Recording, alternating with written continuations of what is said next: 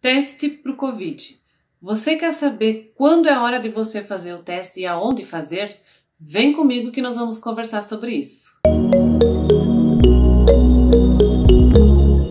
Eu sou a Carol, esse é o Saúde com Carol e eu convido você a se inscrever e ficar por dentro dos assuntos referentes à saúde. Esta é a temporada Covid. Nessa temporada teremos três episódios e vamos tratar de acesso a serviços de saúde no Covid, testagem e também sobre medicamentos. Além disso, teremos uma live com um profissional de saúde, onde ele falará também sobre os serviços e acesso aos serviços de saúde na, no Covid. É, se você tem dúvidas sobre essas questões, convido você a vir comigo no Saúde com Carol.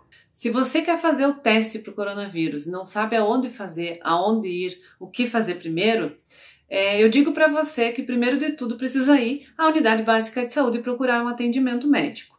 Lá, eles vão fazer uma avaliação dos seus sintomas, do seu quadro clínico em geral, e a partir disso, eles irão avaliar o seu caso e verificar se você precisa realmente fazer o teste para o coronavírus ou não. Isso é importante porque nem todas as pessoas serão direcionadas para fazer o exame. É impossível uh, o Brasil inteiro testar 100% da população.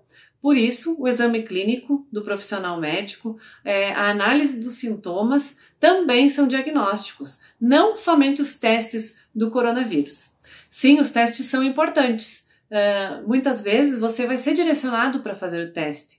Existem vários testes disponíveis pelo SUS. É, o mais popular é o teste rápido. Né? Também temos o teste, o padrão ouro, que é o PCR, além dos outros tipos de testes sorológicos. Uh, mas a, eu estou aqui hoje para nós falar realmente sobre como acessar esses testes. E eu quero deixar bem claro para vocês que esses testes eles têm datas corretas para serem realizados. Então nem sempre você vai chegar lá no posto de saúde e ser feito o teste porque depende da, da, do número de dias que você já esteve com, com os sintomas.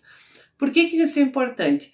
O teste rápido, por exemplo, é, que o Ministério da Saúde mandou para os municípios, ele precisa que você tenha os sintomas pelo menos por sete dias para ele dar o teste positivo.